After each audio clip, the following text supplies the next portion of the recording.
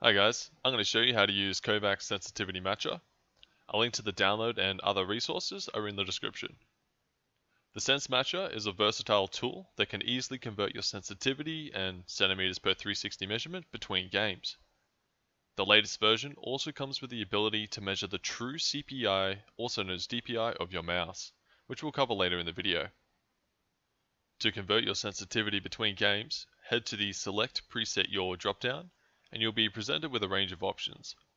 If the game or sensitivity scale you are converting from is listed here, you can select it and enter your in-game sensitivity into the sense field. So we'll choose Overwatch and we've chosen 4.4 sensitivity. If the game you're converting to is on the list, you can then select it and the number in the sense will be your sensitivity. So say we went to Quake Source for like CSGO or maybe Apex Legends, we can now see our sensitivity would be 1.32. If the game you are converting from isn't listed, you can select Measure Any Game and follow a few simple steps to find that sensitivity. Firstly, you'll need to open your game and ideally head to a training ground type of area. For this example, I'm in Overwatch, but we'll just pretend it isn't listed and we need to use the Measure Your Game feature to find my sensitivity for the calculator. In your non-listed game of choice, head to a corner or line on a wall and line up your crosshair with it. Press Alt plus forward slash, then perform a careful 360 degree revolution and return to your starting position and hit Alt forward slash again to stop measuring. In most cases, this measurement will generally be close enough to your real sensitivity, but if you want it to be perfectly precise, you can iterate further on this. To see how close we got, we line ourselves up and hit Alt plus backspace to check the accuracy. You can also hit Alt plus Shift plus Backspace to perform 22 revolutions back to back, which will give us a better idea of how accurate it really is. In this example, our crosshair fell a tiny bit short. So to rectify this, we can iterate with Alt and minus, and Alt and plus. Our crosshair stopped short, so we hit Alt plus. Line ourselves up again, and hit Alt backspace, or Alt shift backspace to check the new measurement. If you overshoot, you hit Alt minus. If you undershoot, you hit Alt plus. It may take a fair bit of back and forth, but you'll eventually nail your exact sensitivity. Now that we have measured our sensitivity through the Measure Any Game option, we can get to converting. If the game we're converting to is on the list, we can simply select it and the number in the sense field is the in-game sensitivity for that game. If your game isn't on the list, you don't need to change anything in the calculator Simply open up your game and find a spot on a corner or wall like before and hit Alt plus backspace. Depending on how much you overshot or undershot, make trial and error changes to your in-game sensitivity until it matches up with the spins from hitting Alt and backspace. In the example on screen, I was converting 5% in-game sensitivity from Battlefield 5 to Overwatch. But once again, pretending Overwatch wasn't listed.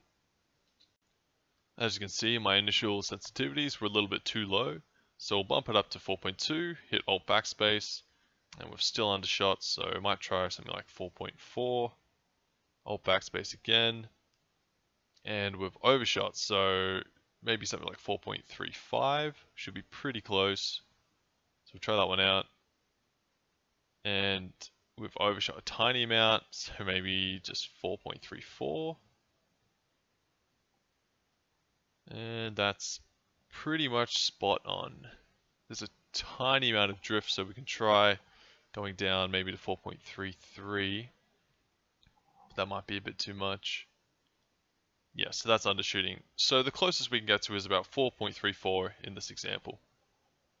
Some games will block access to tools like the Sense Matcher, so we're not going to be able to use it. Fortunately, as long as we know the yaw value of the game, we can still convert our sensitivity.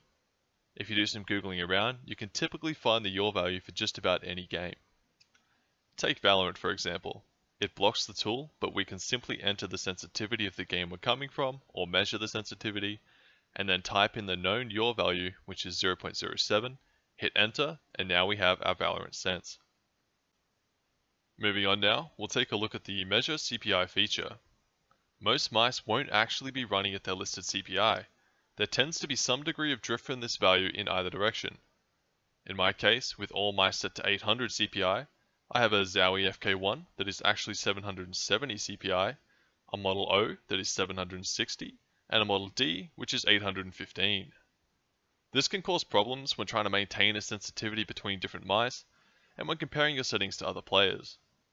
To have the same centimeters per 360 between my Model O and Model D, I'd need to change from 5 in-game Overwatch to 4.68, which is quite a significant difference.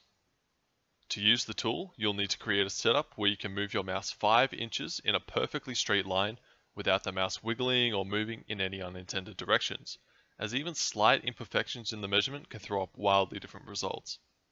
I like to push the mouse flush against the edge of a mousepad to keep the x-axis consistent, and for the y-axis and to remove any wiggle, I also put my phone flush against the mousepad and mouse.